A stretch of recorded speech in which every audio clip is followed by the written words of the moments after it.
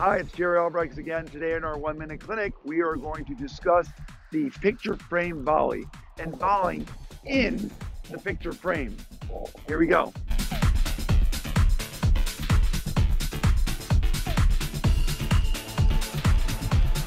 So we talk about the picture frame volley. We want to keep all our backhand volleys in this area. So you want to be moving side to side and try and keep every volley in this area. Now, if it's too fast, you may have to reach and sometimes do the backhand volley here instead of the forehand. But on most drives, try and position yourself on higher ones, low ones, in here, all in this picture frame area. Whether you do side to side shifts, whether you're moving with the ball and mirroring, whether you're covering middle from the other side, square up, get in the pitcher, and volley that ball in the pitcher frame.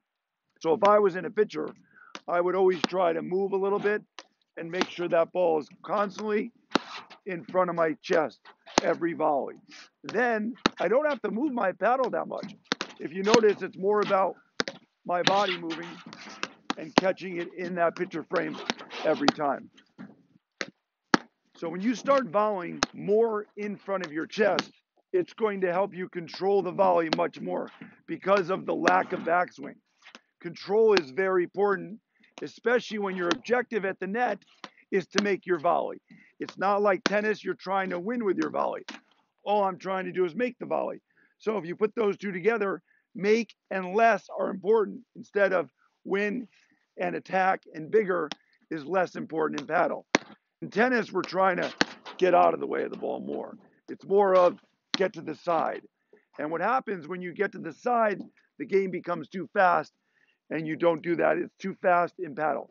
So get in the way of the ball, use the racket to protect yourself, move side to side, and position yourself, catch it in front of your chest. Time's up.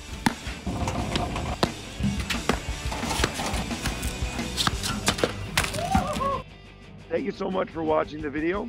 And please do me a favor and subscribe and ring the bell. And my promise to you before I go is if you watch all these one minute clinics, you too can become a national champion. Well, maybe.